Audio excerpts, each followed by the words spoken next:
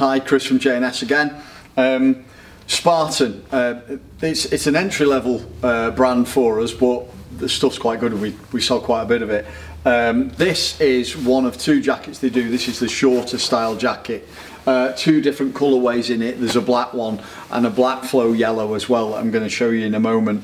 Um, nice jacket and um, you know for an entry level jacket there's quite a few features on it so let's have a look at it.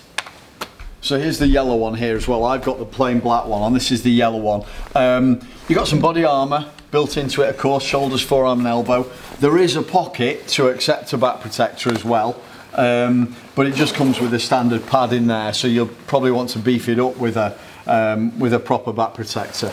Undoing the main zip, You've got a storm cuff behind there as well to protect the water on the zip. Removable thermal lining as you'd expect.